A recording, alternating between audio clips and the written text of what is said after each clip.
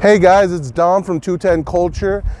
We're here today with Culture Creations and we're on episode 15 and what's a sweeter treat than trying street treats here at Judson Plaza by Judson High School.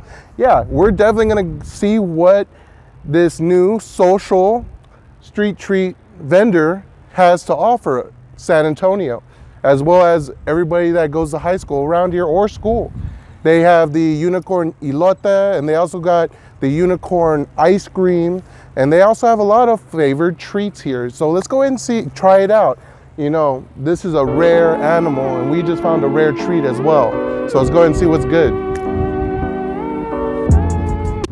All right. So now that we've gotten our unique items here from the street treats, let's see what the street brought us. So here we got our hot Cheeto and pick, fry, fried pickles. Uh, pickles that are fried hot Cheeto batter. As you can see here, beautiful, beautiful. I love hot Cheetos and pickles. This brings my two loves together. And then of course you got the ranch. You can't, you can't have it without ranch, but let's try it without it.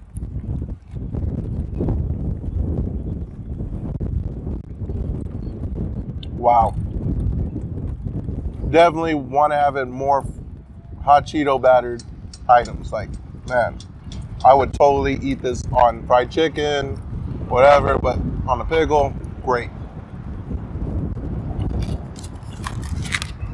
Now, we got our unicorn elote.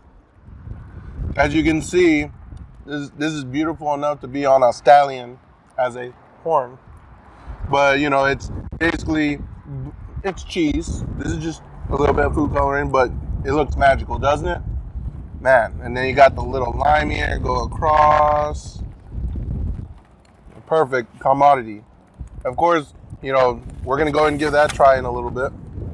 But then we're gonna wash it all down with that pina colada. No, it doesn't have liquor in it, but trust me, you could use it with this heat. Man, look this. It's so shaved ice, and of course it has some food coloring and it also has some pineapple chunks in there. Feels like I'm at the bar already. Oh, all the time.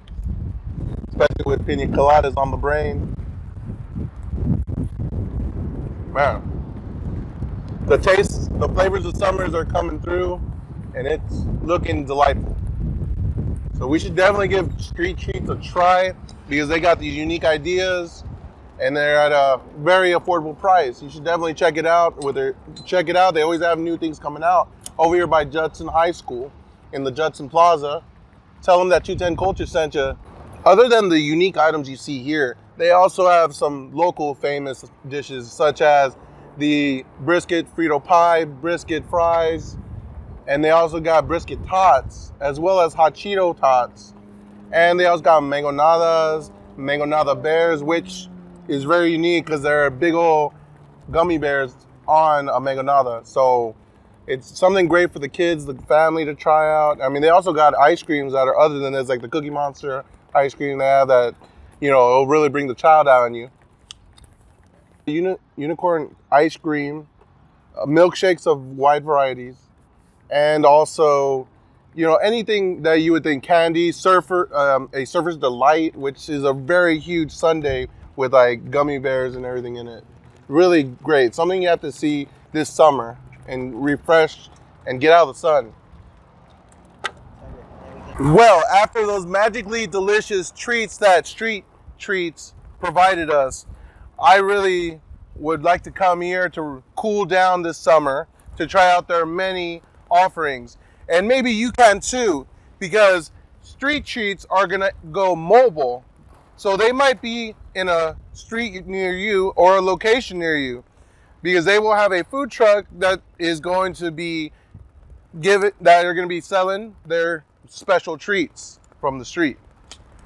So now you can also follow them on Facebook and Instagram and definitely can give you some insight on that and let you know about new items that might be coming out soon. So, you know, this summer you definitely want to give street treats a try because you know the street knows what's good.